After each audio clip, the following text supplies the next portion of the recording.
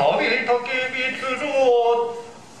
姉の御事満たし込みまして雨の岩とさして走りこもらせたまえば矢をよろずの神たち共に計りて大い神王に祭りしかども自らが仕業足刈りしように組みたまえ矢をよろずの神我をやらいたもがゆえに痛く雨降り風吹けどもえ休まずたしなみつつ雨のかきたつ極め国々を巡り白木の国よりこの元津国に渡り今出雲の国日の川神なる鳥神のところにつけて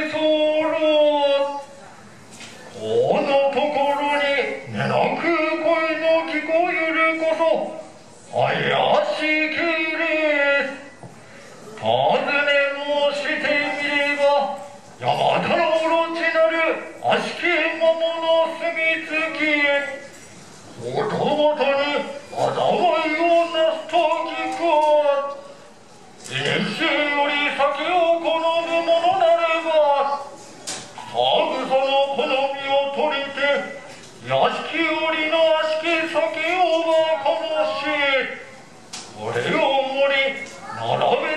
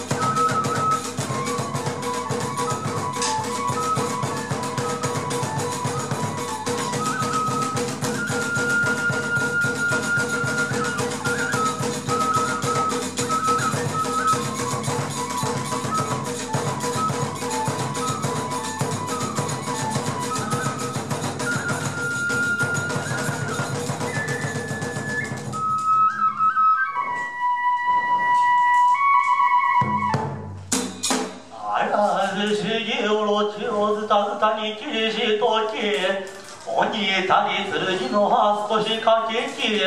怪しと思いて差し裂きてみれば一草の剣を得たりこの雲の地の薄むに常に雲のたなびきしはこの剣の徳なるべしこれを名付けて雨の村雲の剣とたたえ申さん二草の剣を雨の吹き根の御事をして天照らす大神に捧げ祭らばやとも思う。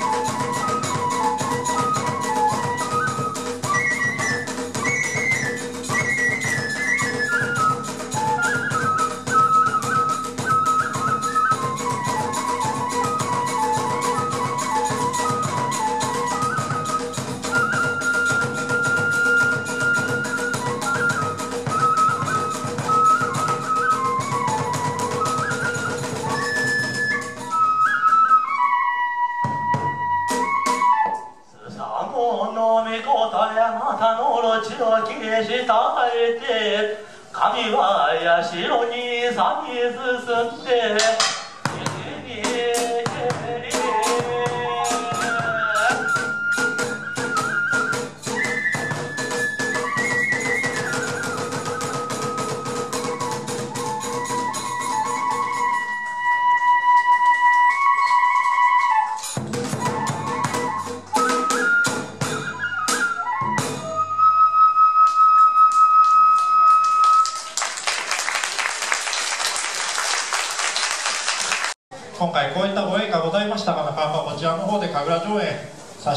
ことが少ない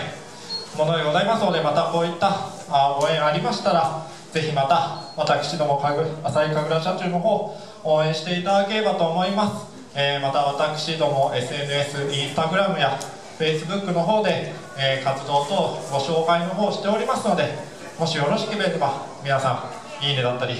フォローフォローだったりしていただけると私どもあげる楽しみがございますのでぜひ皆さん今後ともご声援の方よろしくお願いいたします、えー最後に上がりましたが、えーまだまだ、えーコロナ等の感染症、